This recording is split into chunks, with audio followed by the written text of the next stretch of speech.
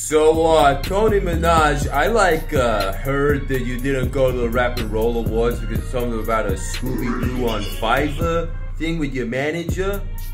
What, what the f happened? I want to say something. Yo, shut the f up. That Scooby Doo video, that Scooby Doo video was.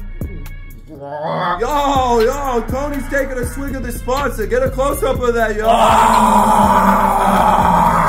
That's tired of f, man. Long as it isn't a scam, that's tired of f. All I'm saying is, I gotta work harder than my competition. You guys needed uh, Twitter change the name to X?